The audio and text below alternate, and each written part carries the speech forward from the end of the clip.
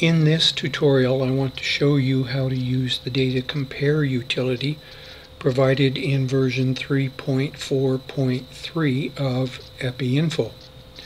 The utility is used to compare two databases and make sure that they agree. The data compare utility is a tool that I use when I have a set of interviews and I want to be sure that the data entry is reliable. I ask two data entry people to each enter the same set of interviews into separate databases. It is important to make sure that the databases are the same structure and then the utility will compare the entry to make sure that they agree. So what you want to do after your data entry people have created two databases that if they have been accurate, the two databases should agree in all aspects.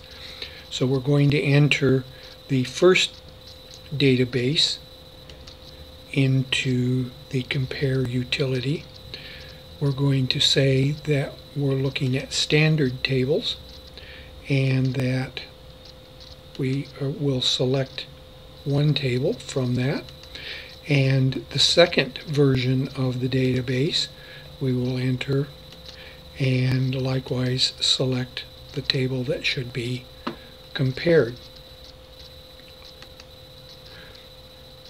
We need a unique key in the table Often this is a field that was created for a an interview ID number.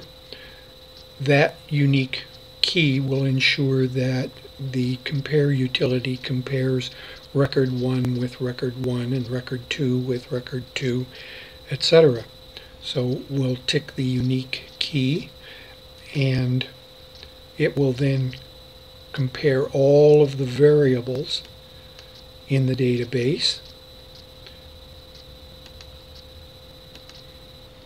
We could create a report of the outcome or for this tutorial we'll just skip that and then we'll say compare and what we have here are the differences that are in the interview or case number one if we turn off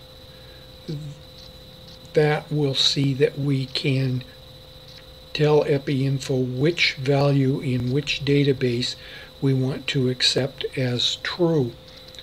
We can learn what we want to accept by going back to our original source of information that the data entry people used and find out which one should be entered.